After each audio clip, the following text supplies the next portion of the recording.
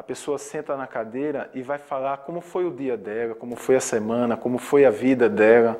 Tá entendendo? Então, você começa a observar aquilo que você pode aproveitar de bom no depoimento dela. Então, ela diz também os mecanismos que ela, ela utilizou para é, conseguir superar aquele problema que ela teve. Então a minha dificuldade era essa, eu não sabia lidar com as minhas emoções, eu evitava as minhas emoções e racionalizava. E é isso que é o relacionamento saudável, né? Você ser assertivo, dizer o que pensa, você dizer o que sente.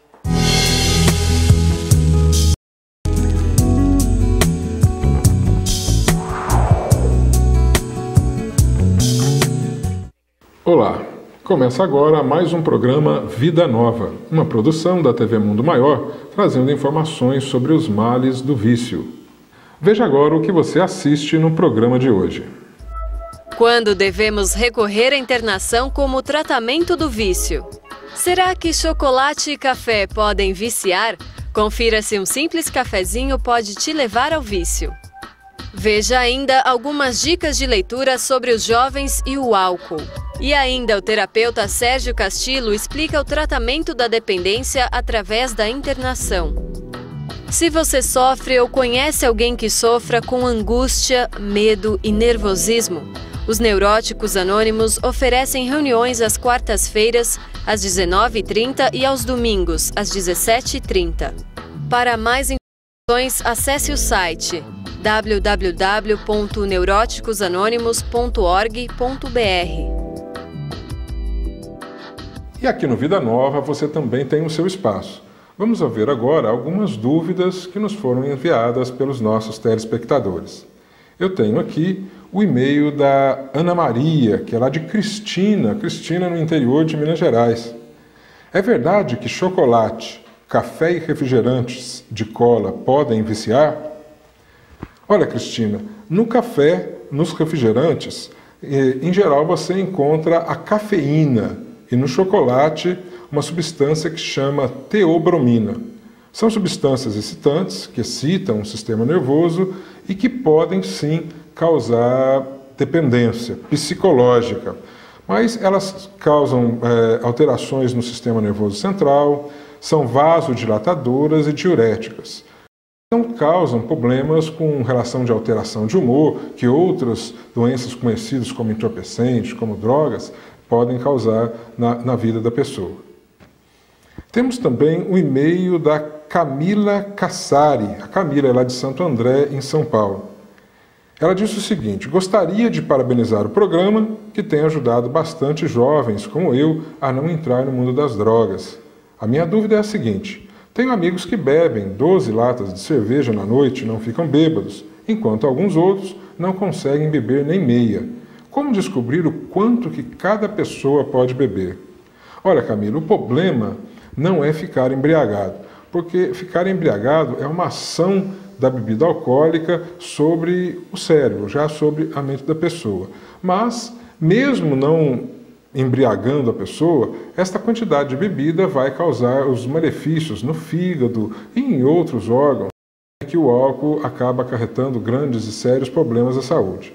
Então, na realidade, é, as pessoas indicam que o ideal seria que as pessoas que quiserem beber não ultrapassassem a uma dose diária. Essa é uma, do, uma dose diária de cerveja, por exemplo, é tido como uma latinha em torno de 350 ml de cervejas. A partir disso, já começará a causar algum malefício na saúde da pessoa, tá bom? Equilíbrio distante. Tabaco, álcool e adolescência no jornalismo brasileiro, de Viti Virvata. Um guia para uma cobertura abrangente e qualificada sobre o uso de drogas lícitas por jovens, dirigido a jornalistas, estudantes, professores de comunicação e profissionais da área de educação. Outra dica é Nossos Filhos Longe das Drogas e do Álcool, de Edson Ferrarini. Um livro objetivo e com linguagem fácil, sendo um investimento na saúde de seus filhos. Após estar esclarecido, o jovem vai entender por que um vencedor não usa drogas. Será que a internação deve ser o último recurso a ser usado no tratamento da dependência química? Confira a matéria. Os avanços da ciência e da tecnologia têm proporcionado muitos benefícios para o homem. Com o surgimento desses novos conceitos, o tratamento da dependência química também sofreu muitas modificações. Entre essas mudanças, a internação, que deve ser um recurso utilizado em casos mais graves. A internação nem sempre é necessária. Muitos casos conseguem ser tratados em ambulatório, em salas de grupo, de grupo de apoio, mas é, mais crônicos, mais graves, eles precisam ser afastados do ambiente de bebida. Então, eles precisam de um local onde realmente não haja bebida. Quando diversas possibilidades menos restritivas tenham sido tentadas sem sucesso, então o médico recorre à internação, mesmo que seja contra a vontade do dependente. É o que acredita o presidente do Instituto Fraternal de Larboterapia, que presta assistência aos alcoólatras. Quando a pessoa se vê realmente impossibilitada de se abster da bebida, né? que só as reuniões de apoio e só a conversa com o grupo, só a troca de ideias com o grupo, não lhe permite fazer, parar o uso da bebida. Né? E aí ele se impõe, então, essa, esse afastamento, esse isolamento, né? para deixar de fazer uso pelo menos pelos três meses em que ele está aqui presente com a gente. Normalmente é melhor com a internação, mas a gente tem muitos casos, né? aí vai muito do grau de, de, de profundidade da doença, de grau da, da, da, conscientização do paciente, quer dizer, são muitos fatores que, que determinam isso. Né? Se consegue muitos casos de recuperação sem a internação. Mas, embora o combate ao vício possa ser realizado de diferentes formas, o assunto ainda divide opiniões. Tem muitas formas de tratamento. Você tem terapia, você tem vários grupos hoje em dia para dependentes, como neuróticos anônimos, AA. Existem muitas alternativas. Eu acho que a internação é o último dos recursos. Se a internação for imprescindível, é óbvio né, que a cura vai vir através do inter, da internação da pessoa. Mas tudo que é recurso deve ser usado para a pessoa poder se curar. A pessoa precisa de um, um acompanhamento, de um, um tratamento assim mais. Sei lá, eu acho que precisa. O tratamento ideal para a dependência química é o tratamento ambulatorial aquele que a pessoa fica na família, na convivência do lar e vai se tratar nos dias designados junto ao médico através de consultas médicas e acompanhamento por este profissional. Mas em algumas situações acaba não sendo mais eficiente esse tipo de tratamento e é, né, acaba sendo necessária a internação, que seria praticamente um último recurso a ser utilizado, principalmente quando é necessário uma ação né, da, da pessoa, dos órgãos, do que das toxinas todas que ali já foram depositadas pelo álcool e pela droga. E também em situações em que há resistência do dependente químico em se submeter ao tratamento. Então, o início desse tratamento terá que ser realmente efetivado através de um período de internação. O importante é dizer que, mesmo quando o tratamento é feito por internação, é necessário um comprometimento da família do dependente com a recuperação da sua saúde, com o tratamento que ele está fazendo. A gente sabe que se estabelece a, a codependência. O, o, os familiares que convivem diariamente com todos os problemas que o dependente químico traz no convívio dentro de casa, ele acaba também ficando um dependente daquela situação, como se tornando um herói. A pessoa tem que estar sempre dependendo de mim. E quando ela consegue dar um passo para respirar um pouco e conseguir dar uns passos sozinhas, a família parece que já é, que não fica bem. Então é importante a família se comprometer também, buscar um profissional, a orientação de um profissional nesse sentido, para que haja um compromisso de todo o grupo familiar, para que o dependente químico possa vencer a sua dependência e para que o familiar que esteja já com a síndrome de dependência também possa vencer esse problema. O aprendizado no tratamento é de todos, é do dependente, é do familiar, e nós temos que lembrar que todos nós estamos, temos problemas, todos nós. Um é dependente químico, outro tem problemas no trabalho, tem um outro problema qualquer, tem outros problemas, às vezes, até de relacionamento, de convivência e outras coisas mais. Todos temos problemas, mas podemos buscar juntos, um apoiando o outro, o outro apoiando um. É importante que nós consigamos manter a harmonia na convivência doméstica. O dependente químico, ele precisa realmente da família no seu tratamento, seja o ambulatorial e seja o tratamento de internação. Quando toda a sociedade o abandona, resta realmente só a família para que possa lhe dar todo o apoio de que ele tem necessidade para superar a dependência. E é sempre possível superar essa dependência. Vamos nos lembrar que Jesus nos disse: nenhuma das ovelhas do meu Pai se perderá. Portanto, é possível você vencer a dependência. Fé, perseverança e trabalho com amor é a receita exata para você começar o caminho. Você sabia que, segundo um estudo na Universidade da Califórnia, 47% dos adultos que consomem álcool desde os 14 anos tornaram-se dependentes químicos? Este percentual cai para 9% entre os que iniciaram o consumo aos 21 anos.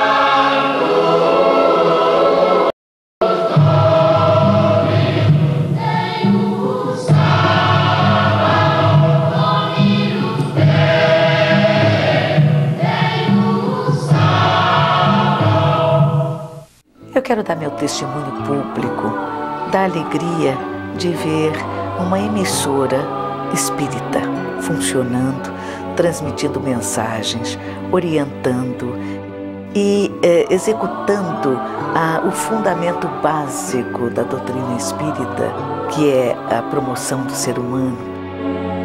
Eu estou muito feliz de estar aqui, que Deus abençoe e que eles tenham um sucesso pleno sempre.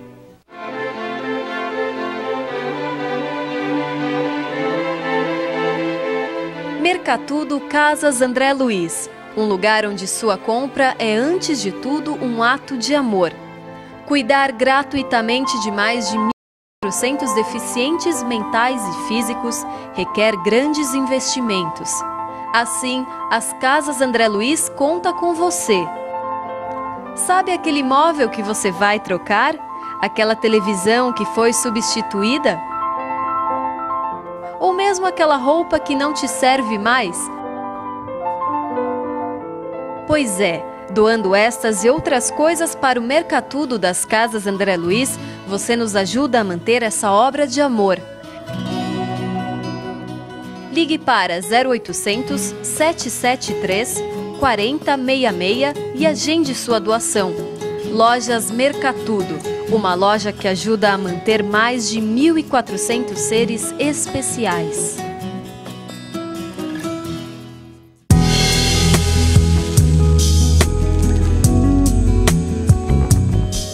Você sabia que um em cada dez de maconha desenvolve a dependência?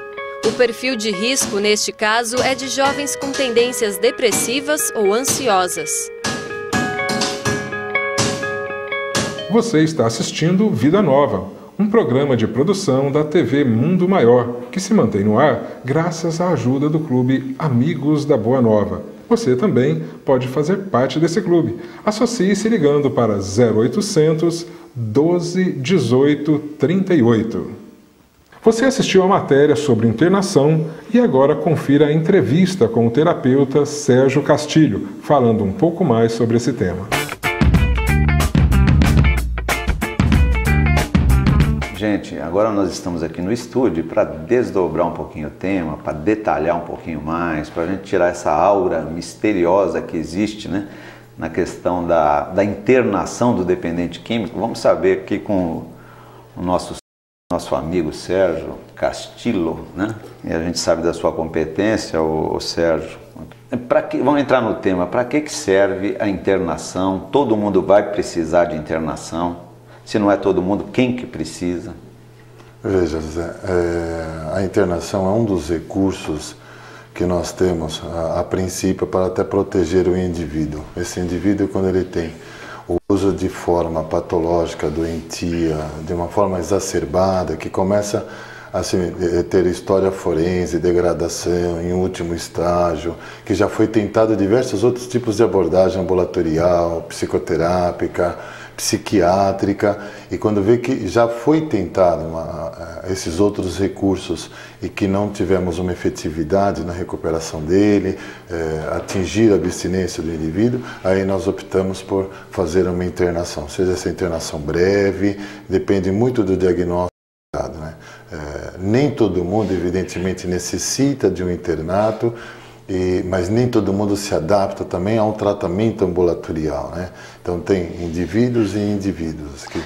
Mas é um erro aquilo que está aí no inconsciente coletivo, a mãe ligar para o terapeuta e tal, meu filho está precisando de uma internação. Quer dizer, esse, é, é, essa indicação né, de, de, ter um prognóstico bom por causa da internação não é verdade. Então... É, eu acho que ocorre, tem duas vertentes aí. O que ocorre são aquelas que ligam é, com, com, algum, com alguma história de uso de alguma substância ilícita e já quer internar, e tem aqueles também que protela uma intervenção e que espera 50, 60 anos, que entra numa degradação, tentando é, numa intervenção domiciliar, e aí quando vai ver, já tem uma série de outros adventos é, surgindo, de psicoterapias patologias associadas. Né? É, quais são a, o, o que, que, faz dentro de uma clínica? Quais os, os recursos terapêuticos?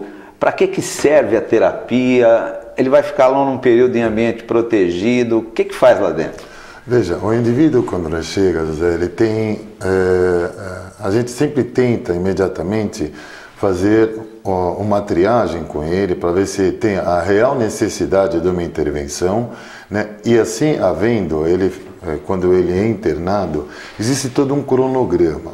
Eu acho que eu vou falar primeiro da equipe. A equipe é uma equipe composta é, por psiquiatra, médico clínico, Psicoterapeuta, psicoterapeutas, terapeutas, conselheiros, enfim, nós, é uma equipe de oito, uma equipe multifatorial que tem a abordagem é, de terapia cognitiva comportamental, tem também o adendo da filosofia do método Minnesota, que são os 12 passos de grupos anônimos. É, a princípio, com alguns é, também assistidos, se faz a entrevista motivacional, aqueles que estão ambivalentes, se quer, não quer.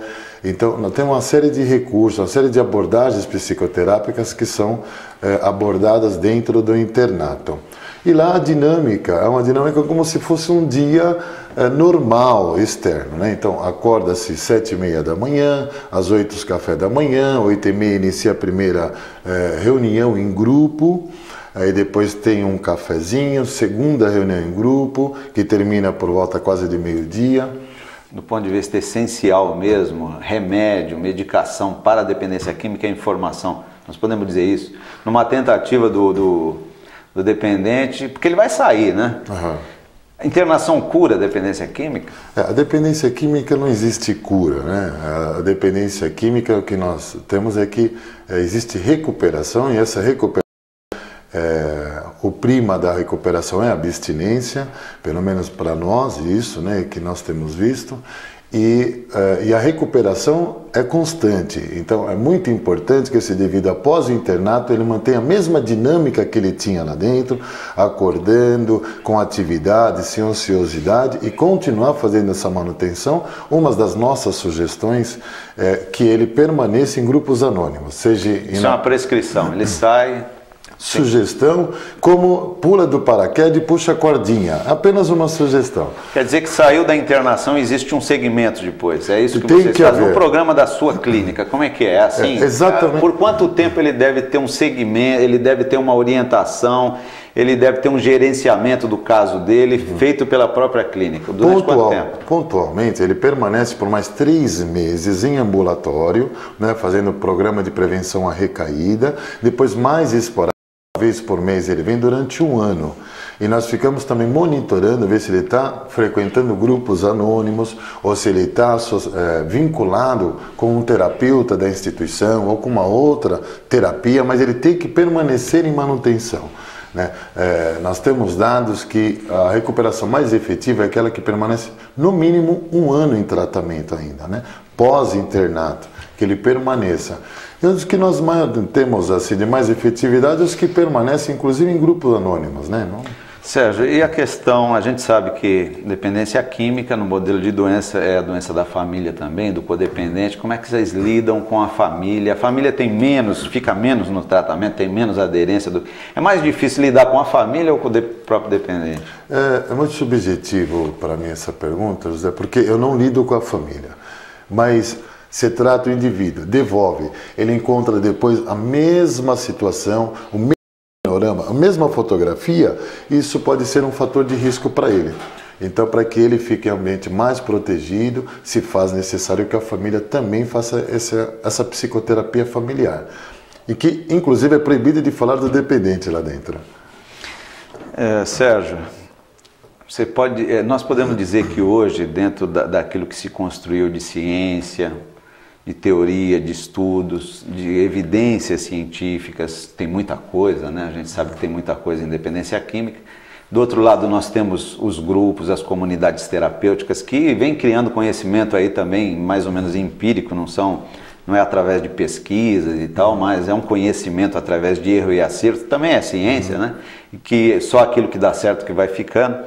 Nós podemos dizer para aquele que está nos vendo que há solução, sem dúvida, é, sem dúvida nenhuma. Eu acredito muito que a gente não deve tanto tempo assim que houver o problema, que for, que trouxer esse problema à família, que a família ficar ciente, procure imediatamente ajuda. Dá um número ou um endereço que vem na sua cabeça agora. Pode ser, um, vou dar um telefone, é. 6225 3098 pode ligar nesse número, lá tem pessoas que vão acolher, a família, mesmo que o dependente não queira, né?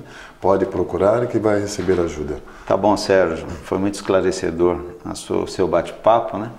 E nós estamos terminando, um abraço a todos.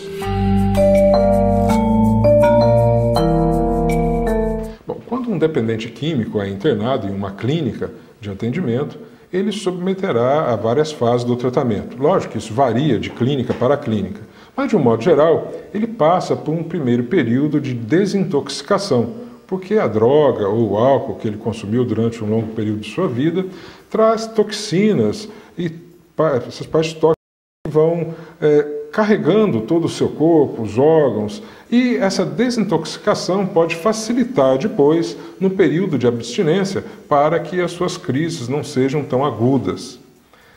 Também há um acompanhamento psicológico profissional da psicologia que vai tentar descobrir, junto com o dependente químico, quais são as principais razões que o levaram para o consumo de drogas e que o mantém agora no consumo de drogas. Logicamente que depois de se estabelecer a dependência, a droga acaba se mantendo por si mesma no consumo. Mas o caminho que leva até a dependência é um caminho que tem que ser descoberto, porque ele tem que ser mudado. Não adianta a pessoa tentar vencer a dependência sem vencer os problemas que levaram ao início dessa dependência. Por isso, o profissional da, da psicologia vai ser este profissional que vai conversar, que vai buscar as raízes profundas dos problemas que levaram o dependente ao vício, ao consumo de drogas, ao consumo de álcool.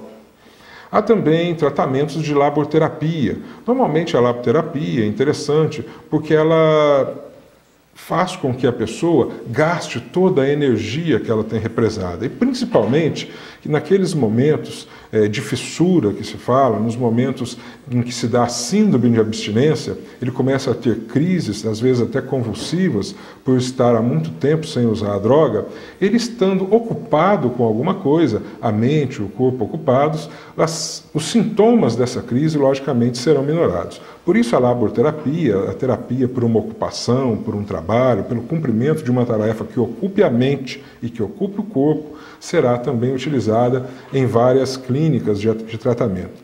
E passa, passa também o dependente a, por orientações para, de como poderá ser o seu retorno na vida social. Ele tem que estar preparado, porque neste retorno ele terá que vencer não só a dependência química, mas outros problemas. Ele terá que vencer o preconceito, quando ele for procurar um trabalho, quando ele for retornar à convivência com seus amigos, quando ele estiver em busca de uma namorada, ele terá que vencer, saber conviver com esse preconceito do qual certamente ele será alvo na sociedade quando ele estiver vencendo a dependência química.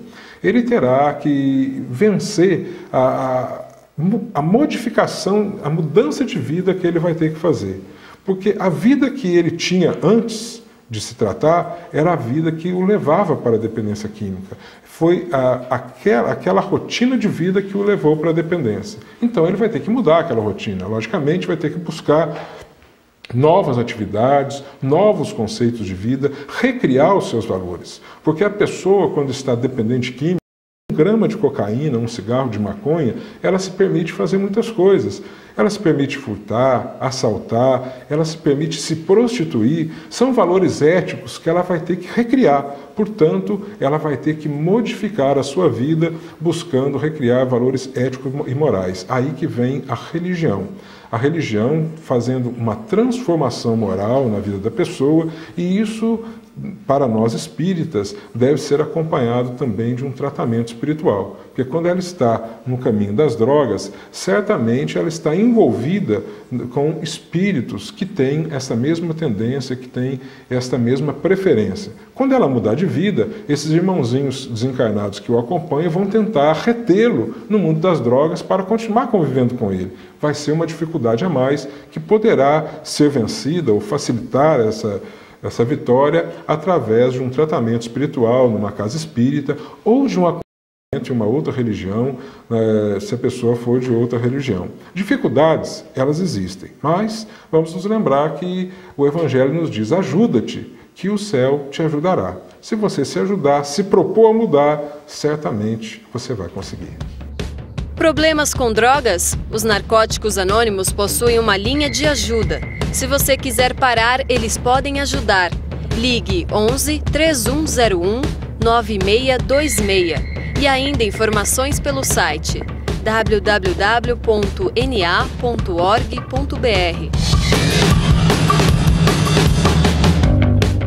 Você assistiu a mais um programa Vida Nova e nós estamos muito gratos pela sua preferência e pela sua companhia durante esta meia hora.